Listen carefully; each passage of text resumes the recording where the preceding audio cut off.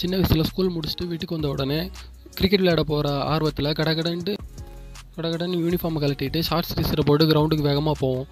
போனதுலேருந்து டாஸுக்கு சண்டை பேட்டிங்க்கு சண்டை பவுலிங்க்கு சண்டை அது இதுன்னு முடிஞ்சு ஒரு வழியாக டீம் பிரிக்கிறதுக்கு சண்டை எல்லாம் முடிச்சு கடைசியாக கேம் விளாண்டா நல்லா போயிட்டுருக்க கேமு சில திடீர்னு ஒரு சண்டை வரும். அது தப்பு இது தப்பு அப்படின்னு ஒருத்தனா ஒன்று சொல்ல ஆரம்பிச்சிருவான்.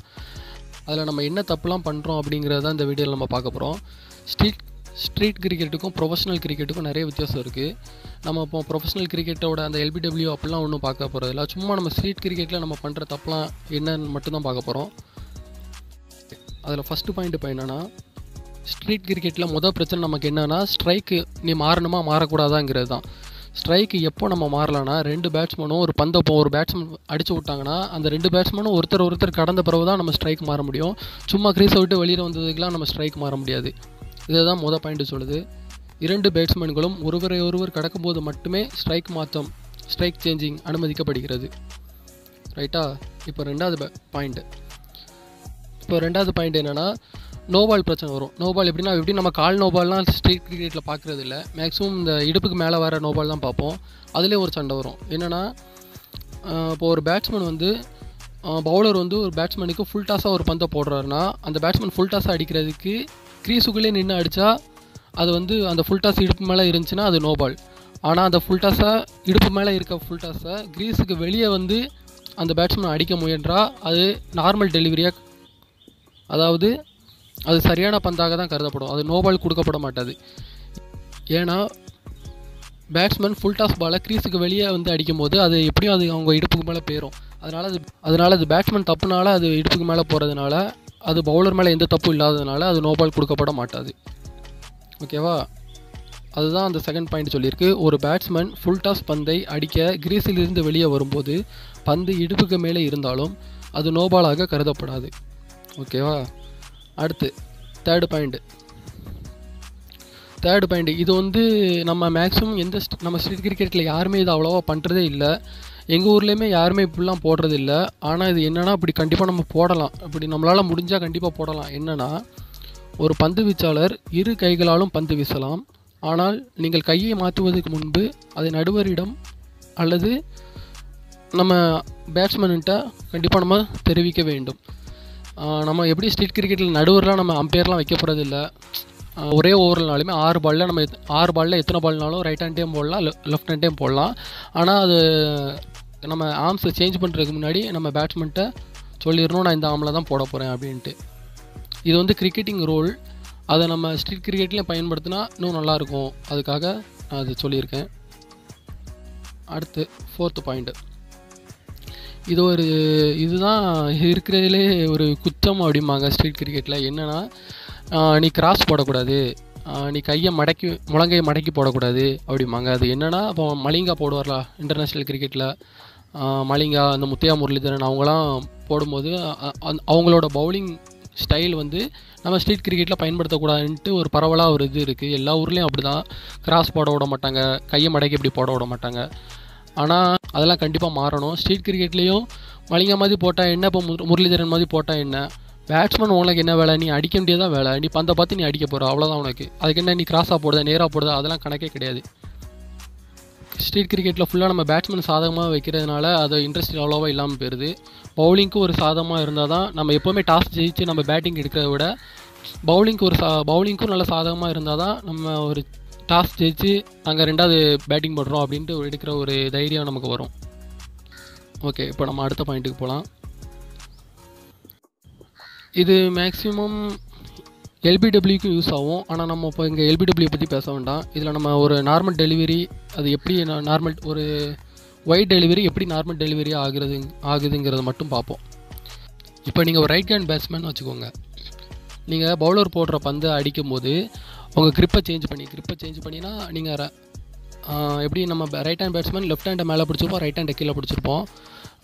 அதே நீங்கள் க்ரிப்பை மாற்றி லெஃப்ட் ஹேண்டை மேலே பிடிச்சி ரைட் ஹேண்டை கீழே பிடிச்சி நீங்கள் பிடிச்சிட்டு நீங்கள் திரும்பிட்டிங்கன்னா அப்போவே நீங்கள் ஒரு லெஃப்ட் ஹேண்ட் பேட்ஸ்மேனாக கருதப்பட்டுருவீங்க.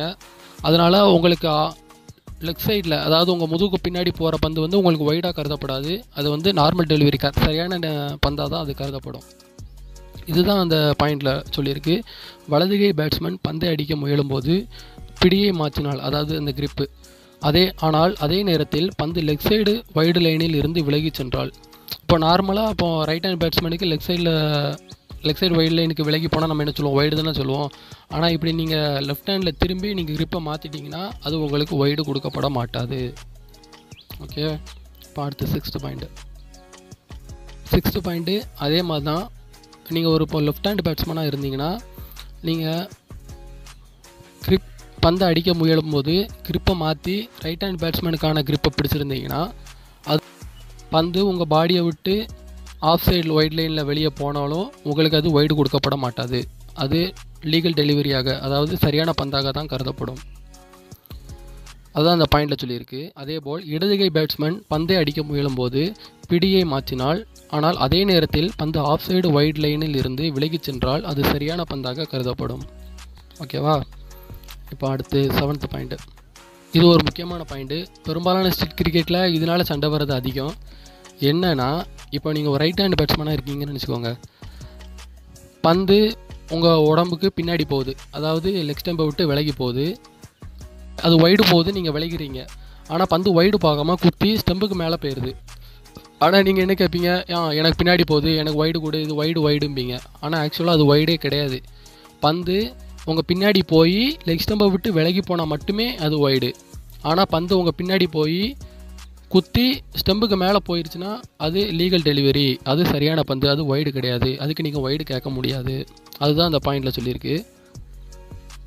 போடப்படும் பந்து பேட்ஸ்மேனுக்கு பின்னாலும் சென்று ஸ்டம்புக்கு மேலேயும் சென்றால் அது ஒய்டாக கருதப்படாது.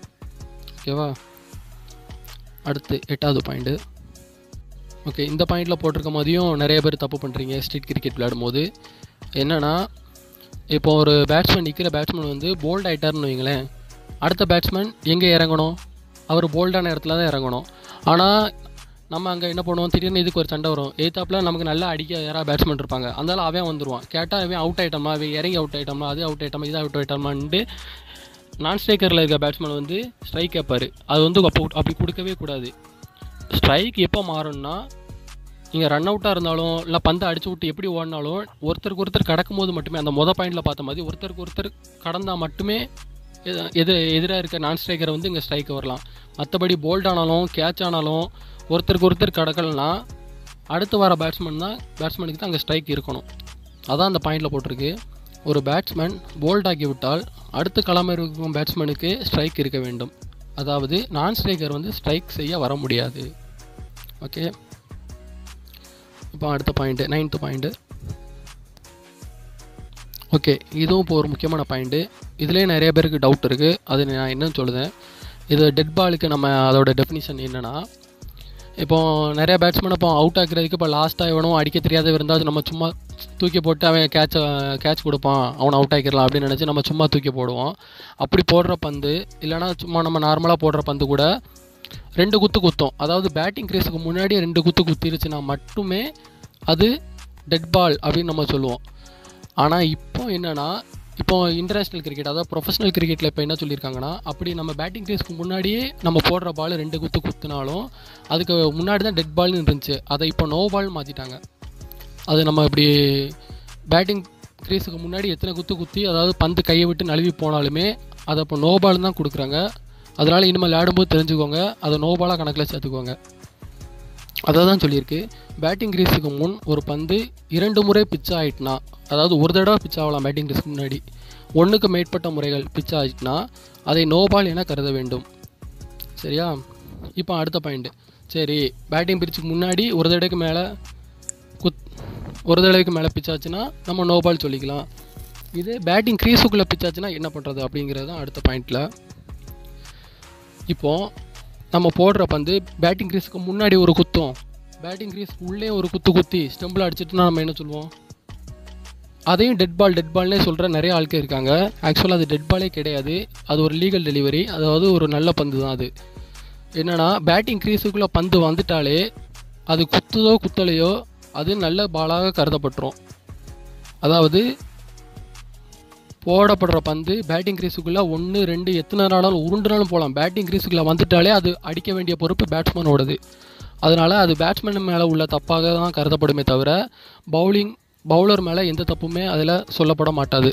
அதுதான் அந்த பாயிண்டில் சொல்லியிருக்கு. ஆனால் பேட்டிங் கிரீஸுக்குள் ஒரு பந்து எத்தனை முறை பிச்சானாலும் அது சரியான அது சரியான பந்தாகவே கருதப்படும். அவ்வளோதாங்க அதாவது நீங்கள் போடுற பந்து பேட்டிங் க்ரீஸுக்கு வெளியே ஒரு குத்து குத்தி பேட்டிங் க்ரீஸுக்குள்ளே எத்தனை குத்துனாலும் குத்தி ஸ்டம்பில் பட்டாலும் அது அவுட்டு தான். சரியா? அது யாருமே நம்ம டெட் பால் நோ பால் அப்படி எதுவுமே சொல்ல முடியாது. பேட்டிங் க்ரீஸுக்கு வெளியே ஒரு தடவைக்கு மேலே ரெண்டு தடவை மூணு தடவை அப்படி குத்திட்டா மட்டும்தான் அது நோ பால் ஓகேவா ரைட்டு எனக்கு தெரிஞ்சு இந்த ஒரு பத்து பாயிண்ட்டு நான் எடுத்திருக்கேன். நம்ம ஸ்ட்ரீட் கிரிக்கெட்டில் பண்ணுற மேக்ஸிமம் தப்பு. வேறு வேறு என்னெல்லாம் ரீசன்ஸாக இருக்கும்? நம்ம ஸ்ட்ரீட் கிரிக்கெட்டில் மேக்ஸிமம் நம்ம தப்பாக விளையாடி சண்டை போடுறதுக்கான காரணங்கள் வேறு எதுவும் இருந்துச்சுன்னா நீங்கள் கீழே கமெண்ட் பண்ணுங்கள் இந்த வீடியோவை மறக்காமல் உங்கள் கூட சேர்ந்து கிரிக்கெட் விளையாடுற உங்கள் ஃப்ரெண்ட்ஸுக்கும் ஷேர் பண்ணிடுங்க ஏன்னா அப்போ தான் அவங்களுக்கும் இது புரிய வரும். ஏன்னா நம்ம ஸ்ட்ரீட் கிரிக்கெட்டை பொறுத்த வரைக்கும் நம்ம விளையாடுறதே ஒரு ஆறு ஓவர் எட்டு ஓவர் அவ்வளோதான் விளையாடுவோம். அப்போ தான் அது எந்தவித பிரச்சனையும் இல்லாமல் குழப்பமும் இல்லாமல் விளையாண்டு முடிக்கலாம் இன்னும் நிறையா இப்படி சின்ன சின்ன விஷயங்கள் கிரிக்கெட்டை பற்றி புரியாத தெரியாத விஷயங்களை பற்றி தெரிஞ்சுக்கணுன்னா இந்த சேனலை சப்ஸ்கிரைப் பண்ணுங்கள் நன்றி.